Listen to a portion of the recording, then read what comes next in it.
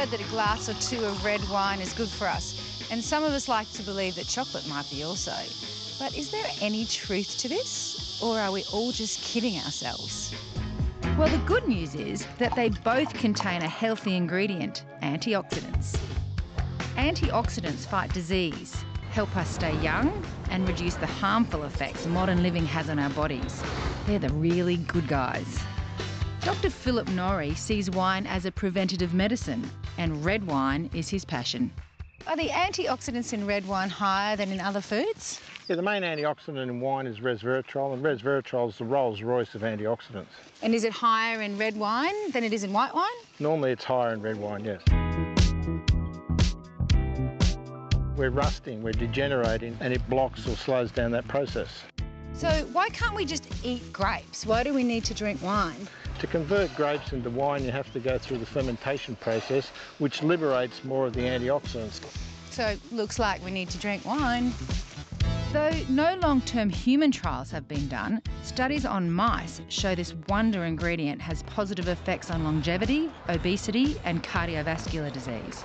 So Dr Norrie is now bottling his own resveratrol enhanced wine. So what gave you the idea? Well, as a practicing GP, I'm sick of seeing people die from preventable diseases like heart attacks, strokes, dementia, diabetes. So I'm into preventative medicine. The best way to treat a disease is not get it in the first place. Absolutely. Cheers to resveratrol. Yeah. Well, it passed the taste test, but will it pass the antioxidant test? We sent two bottles of wine to Southern Cross University, a standard bottle of red wine and Dr Norrie's wine. Here, they can measure antioxidant levels using the ORAC table, which stands for Oxygen Radical Absorbance Capacity. So, what did they find? Well, interestingly, both red wines had significantly high antioxidant activity despite the large difference that we measured in resveratrol concentration. Resveratrol, while it is a potent antioxidant molecule, there are many more antioxidant molecules in red wine.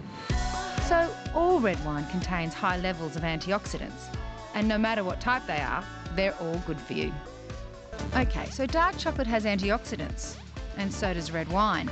But which one has the highest amount of all? Based upon a normal serve of one glass of red wine versus two pieces of chocolate, red wine comes out on top in terms of antioxidant activity.